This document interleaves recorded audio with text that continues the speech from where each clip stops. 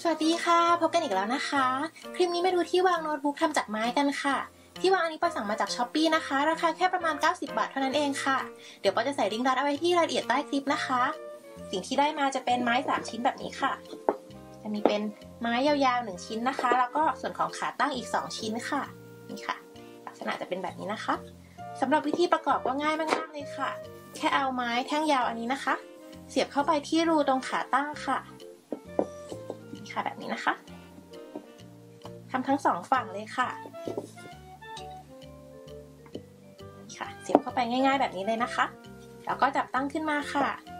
นี่ค่ะ แค่นี้ก็ได้เป็นที่วางโน้ตบุ๊กแล้วนะคะ ที่วางอันนี้เหมาะสำหรับโน้ตบุ๊กขนาด 12 ถึง 14.7 นิ้วนะคะ อันนี้เป็น macbook pro ขนาด 13 นิ้วที่ปอยใช้อยู่ค่ะ เดี๋ยวปอยจะลองเอามาวางให้ดูนะคะ ค่ะวางแล้วก็จะเป็นประมาณนี้นะคะ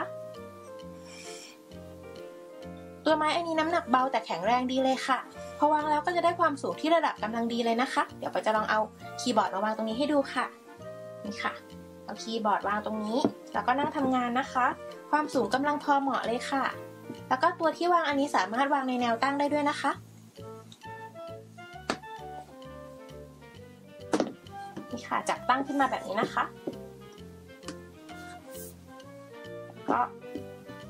วางโน้ตบุ๊กในลักษณะนี้ค่ะ วางแบบนี้ก็ช่วยให้ประหยัดพื้นที่ดีนะคะ วางแนวตั้งแบบนี้เหมาะสำหรับเวลาต่อโน้ตบุ๊กออกจออีกทีนึงค่ะ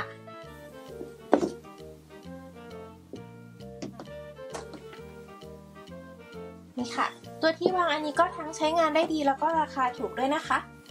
ใครที่กำลังมองหาที่วางโน้ตบุ๊กราคาไม่แพงอยู่ไปแนะนำตัวนี้เลยค่ะ ปอยก็หวังว่าคลิปนี้จะเป็นประโยชน์กับทุกคนนะคะ ถ้าใครชอบคลิปนี้ก็รบกวนกด subscribe ช่อง YouTube ของปอยเอาไว้นะคะ แล้วจะมีคลิปใหม่ๆ มาให้ติดตามกันอีกเรื่อย ๆ เลยค่ะ เอาไว้พบกันใหม่นะคะ